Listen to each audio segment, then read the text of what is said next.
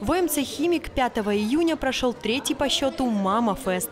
И праздник начался задолго до действа на сцене. В фойе прошли розыгрыши, конкурсы и консультации на тему материнства. А число участников можно было смело умножать на два. Ведь гостями фестиваля стали будущие мамочки.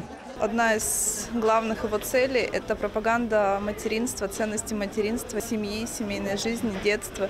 И это очень важно и для будущего нашего региона, для будущего нашей страны, потому что ну, это самые важные, наверное, самые значимые ценности для каждого человека.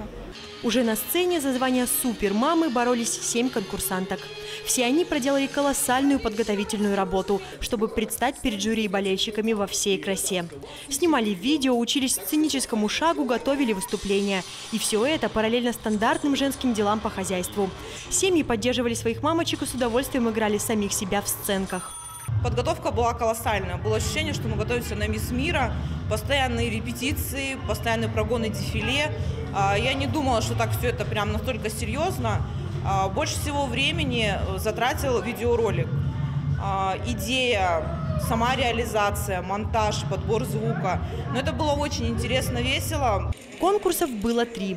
Для начала в визитке девушки проявляли свои творческие способности и презентовали себя в различных киножанрах.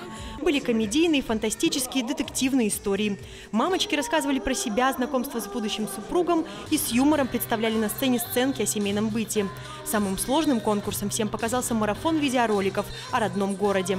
Самое сложное было подготовка видео, потому что тема у нас неординарная.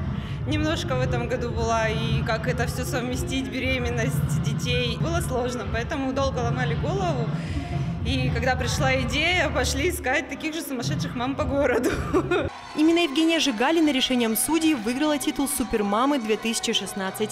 По признанию участницы, свой успешный дебют на конкурсе она запомнит на всю жизнь и обязательно расскажет своему первенцу об их общей победе.